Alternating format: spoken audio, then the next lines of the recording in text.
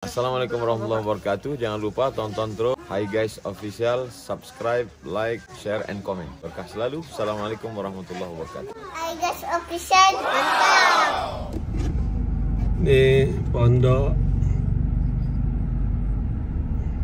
sekolah Yayasan Wakaf Hajar Rohana berbagi milik Tuan Guru Ustaz Abdul Samad guys.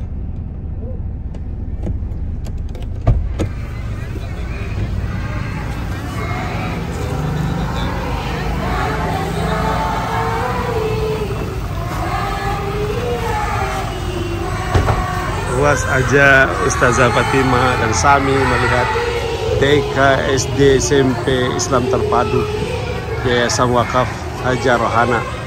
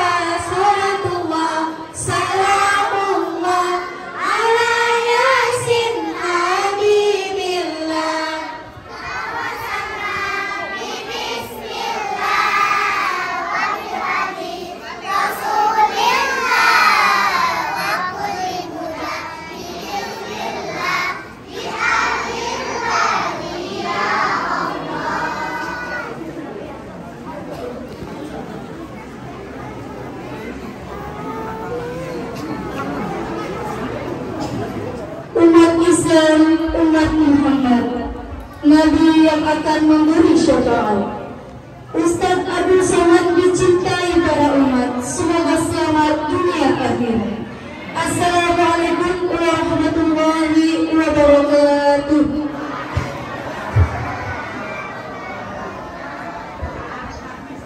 Pertama-tama, marilah kita panjatkan puji dan syukur kita kehadiran Allah Subhanahu wa taala yang mana kiranya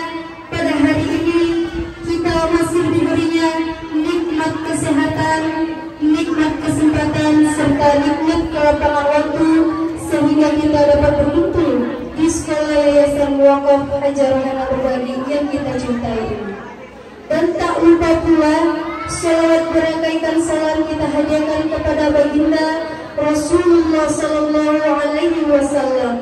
Allahumma salli wa sallim wa barik alaihi. Semoga kita salah satu umatnya yang akan mendapatkan syafaatnya di yaumil mahsyar kelak nanti. Amin amin ya rabbal alamin.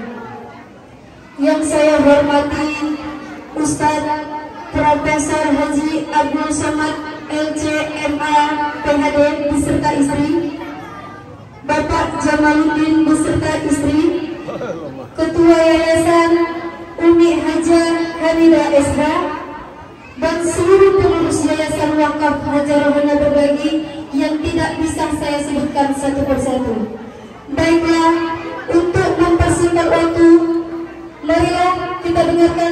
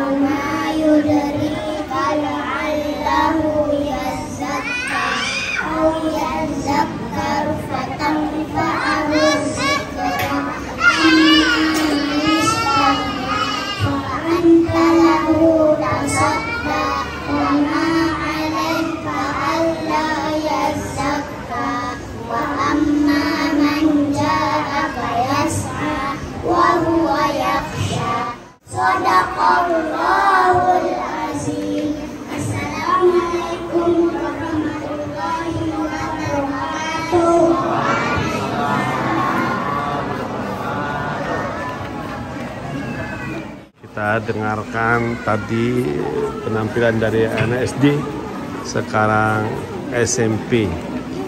Penampilan dari SMP. Bila puas. Assalamualaikum warahmatullahi wabarakatuh.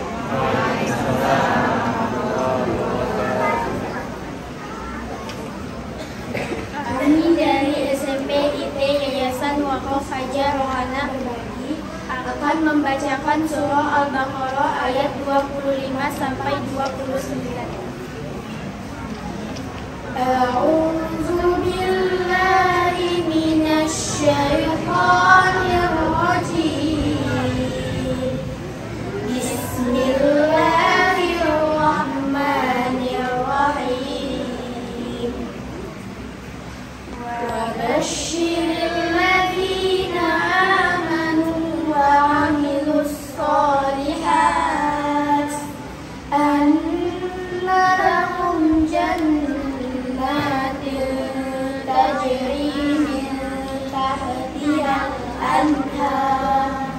كلما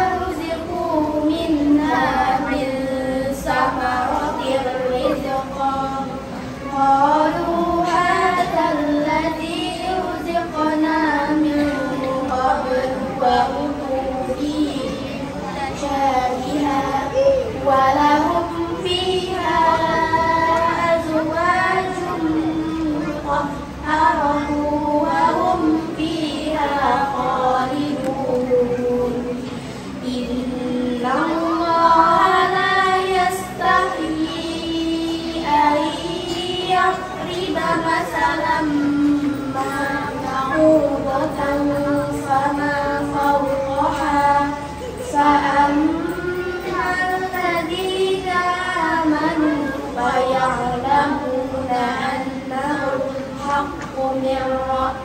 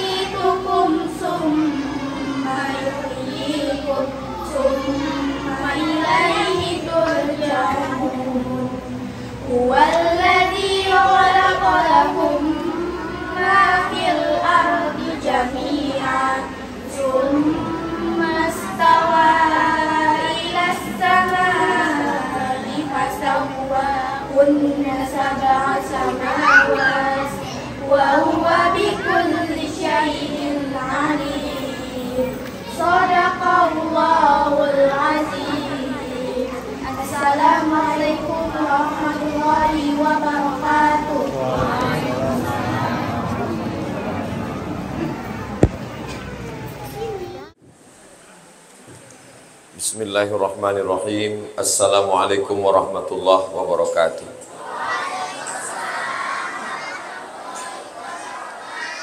Alhamdulillah wassalatu wassalamu ala Rasulillah Sayyidina wa Maulana Muhammad ibni Abdullah wa ala alihi wa sahbihi wa man tabi'ahu wa mawalah.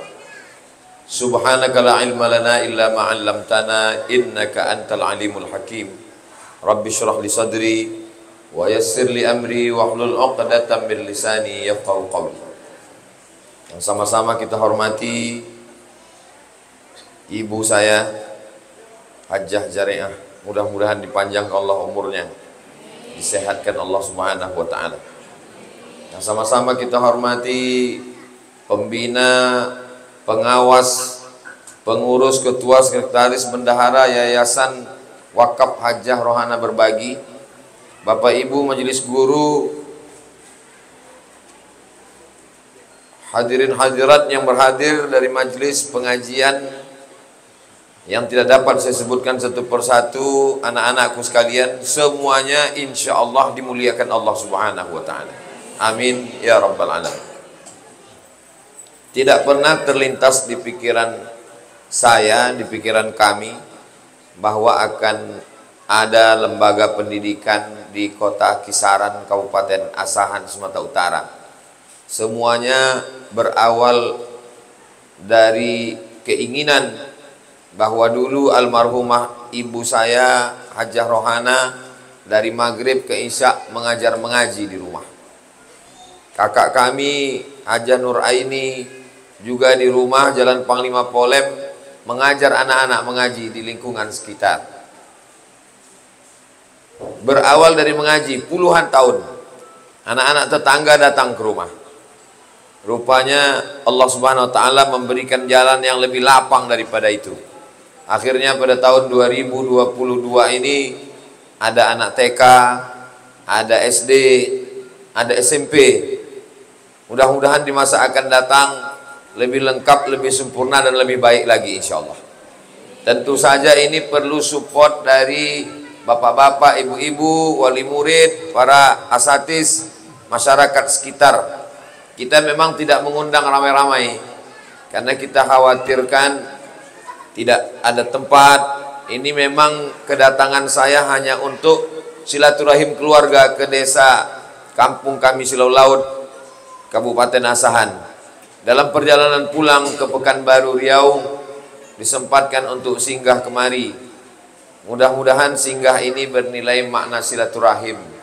Man ahabba ibu satulahu fi rizqihi Siapa yang mau lapang rezekinya, wa yunsa'alahu fi atharihi dipanjangkan umurnya, falyasil rahimahu maka hendaklah dia menyambung tali silaturahim. Kita ini ada empat unsur. Unsur yang pertama yayasan, unsur yang kedua majelis guru, unsur yang ketiga wali murid, unsur yang keempat adalah siswa-siswi.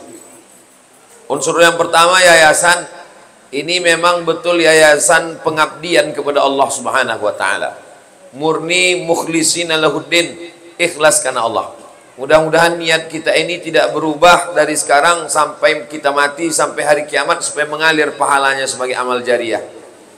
Almarhumah tidak pernah melihat tempat ini. Namanya dipakai tapi beliau sudah meninggal dunia pada tanggal 18 Maret 2019 Tak sempat dia melihat. Tapi saya yakin dan percaya sebagaimana firman Allah Subhanahu wa taala wa qul i'malu beramallah kamu. Fasayarallahu amalakum. Allah melihat amal kamu. Wa rasuluhu Rasulullah melihat. Wal mu'minun orang beriman. Kata Ibnu Katsir dalam tafsir Al-Qur'anil Azim makna orang beriman orang tua yang sudah meninggal dunia melihat perbuatan anak-anaknya.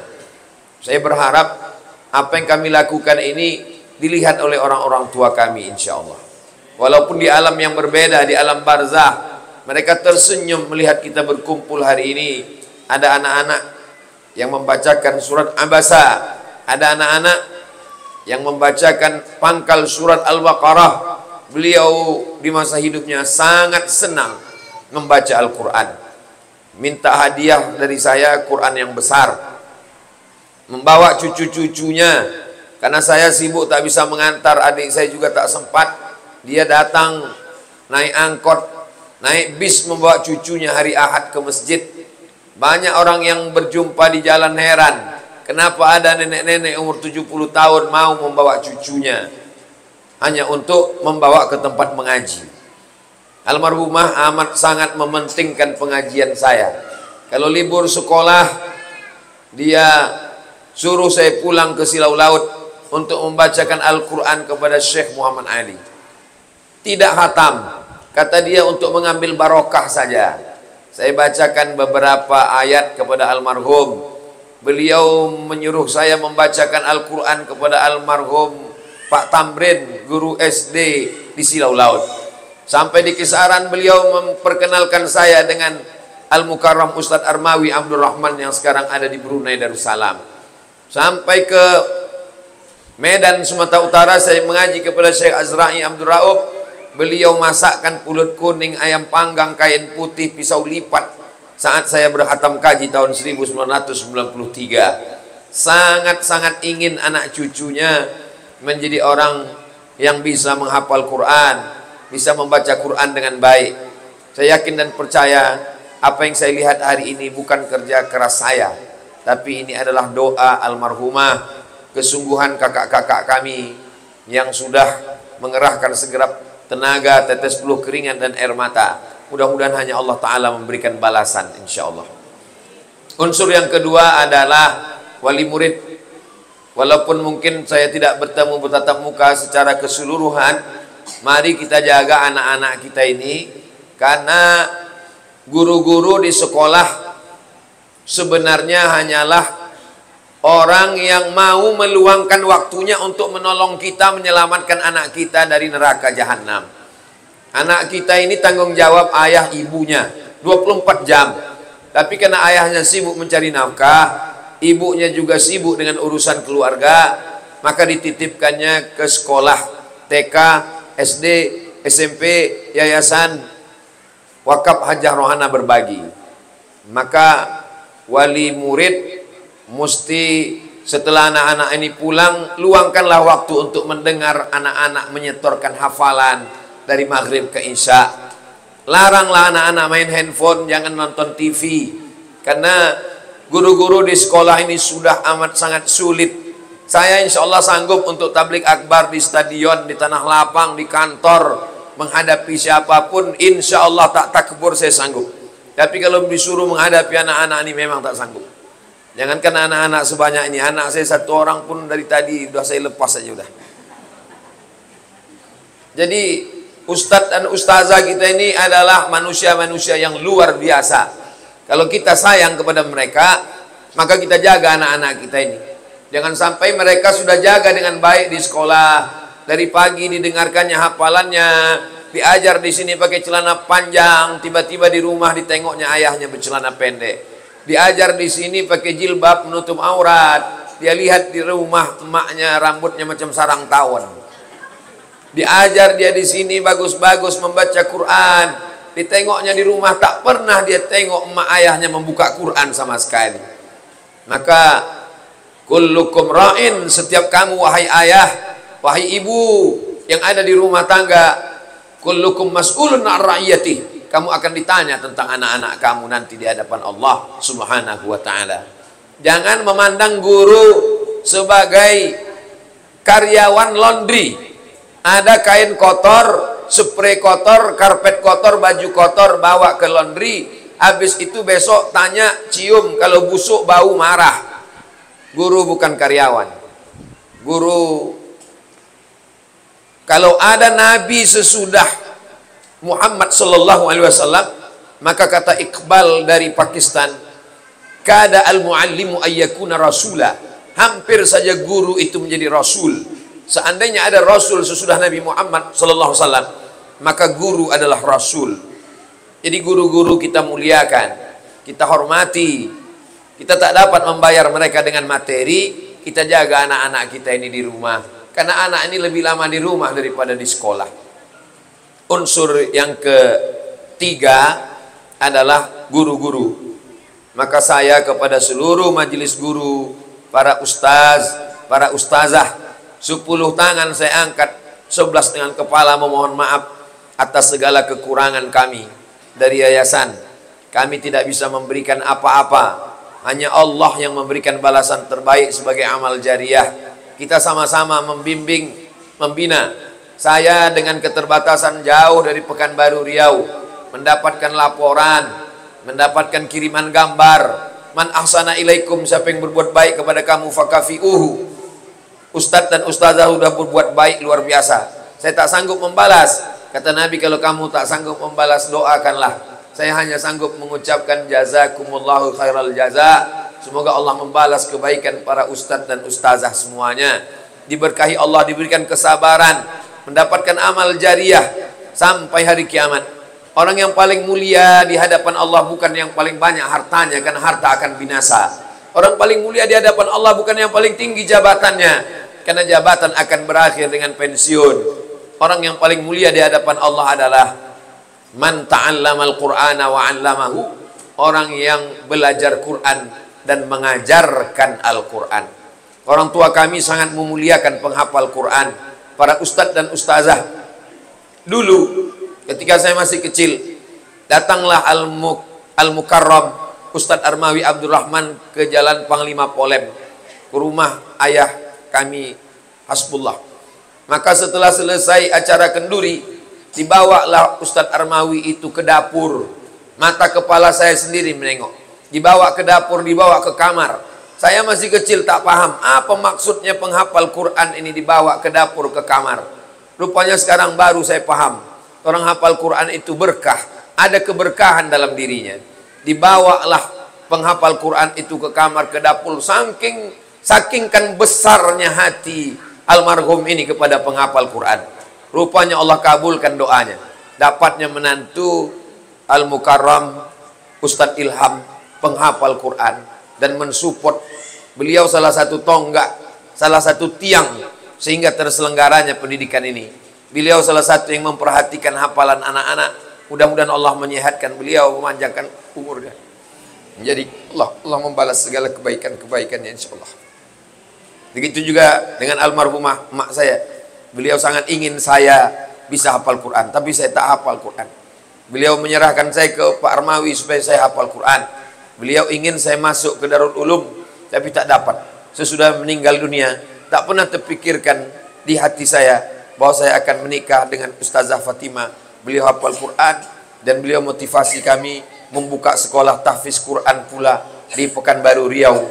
Juga sama dengan di sini, TK, SD, dan SMP. Ke depan insya Allah akan dibuka SMA. Mudah-mudahan panjang umur, sehat badan, dibukakan Allah pintu-pintu kebaikan insya Allah. Bangunan ini tanahnya sangat sempit. Kelasnya untuk tahun kedua, ketiga sudah tidak memadai, tak cukup. Tentu masyarakat kota kisaran dengan anak-anak yang jumlahnya banyak. Tapi kita tak boleh berputus asa. Dulu pun kita tak ada sejengkal tanah di kisaran.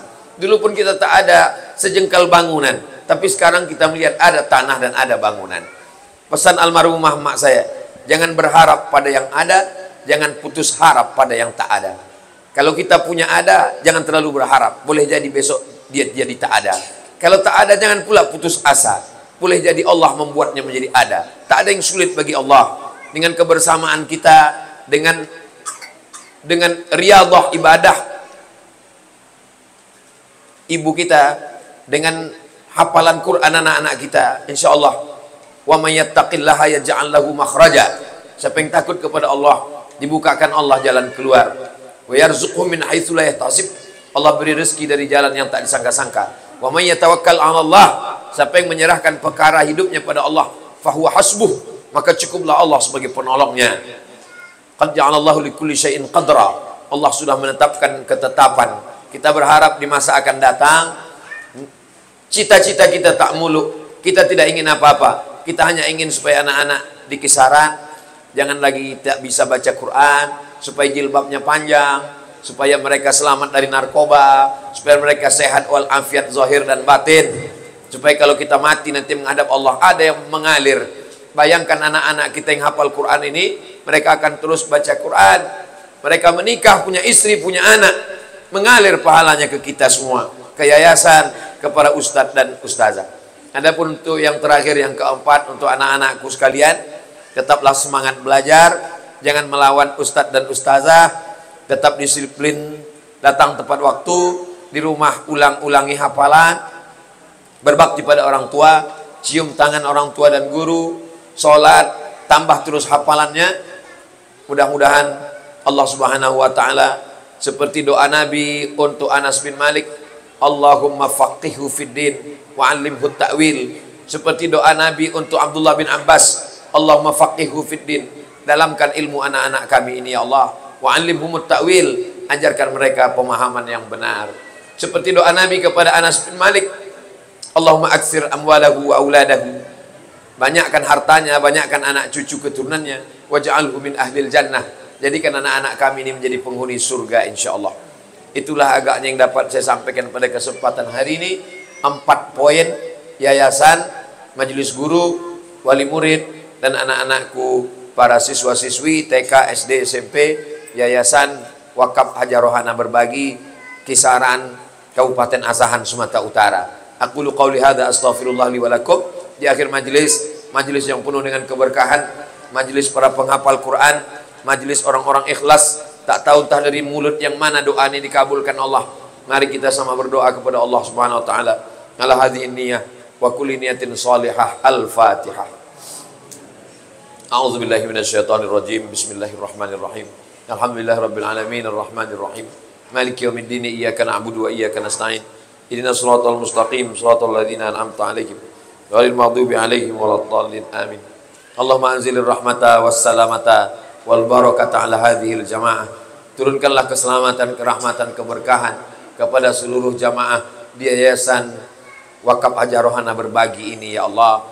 Bukakan pintu hati anak kami untuk menghafal Quran ya Allah.